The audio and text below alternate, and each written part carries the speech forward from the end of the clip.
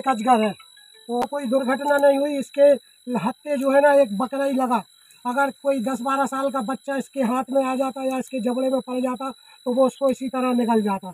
छावर एक गाँव है, यहाँ पर खेत में जो है ना, इसने करीब तीस किलो का बकरा खा लिया था और वो खेत में ही पड़ा हुआ था। और ये काफ़ी वजनदार भी है बारह पंद्रह फीट लंबाई है इसकी और करीब चालीस पचास किलो वज़न है।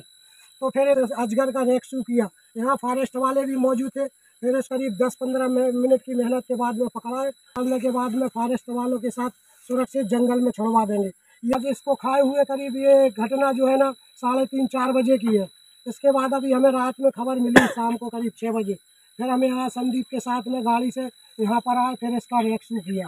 तो पकड़ने के बाद में सुरक्षित जंगल में छोड़वा देंगे।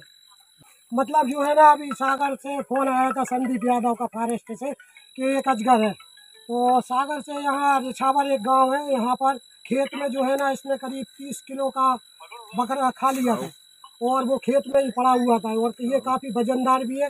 बारह पंद्रह फीट लंबाई है इसकी और करीब चालीस पचास किलो वज़न है। तो फिर इधर कम से कम दो किलोमीटर हम कच्चे में चल के आए पैदल।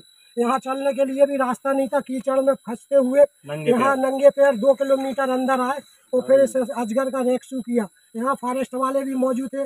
फिर इसको जो है ना करीब दस पंद्रह मिनट की मेहनत के बाद में पकड़ा और अब इसको पकड़ने के बाद में फॉरेस्ट वालों के साथ सुरक्षित जंगल में छुड़वा देंगे।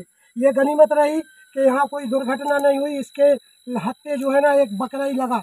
अगर कोई दस बारह साल का बच्चा इसके हाथ में आ जाता या इसके जबड़े में पड़ जाता तो वो उसको इसी तरह निकल जाता। आज इसको खाए हुए करीब ये घटना जो है ना साढ़े तीन चार बजे की है। इसके बाद अभी हमें रात में खबर मिली शाम को करीब छः बजे। फिर हम यहाँ संदीप के साथ में गाड़ी से यहाँ पर आए, फिर इसका रेस्क्यू किया। अब इसको पकड़ने के बाद में सुरक्षित जंगल में छुड़वा देंगे। चलो।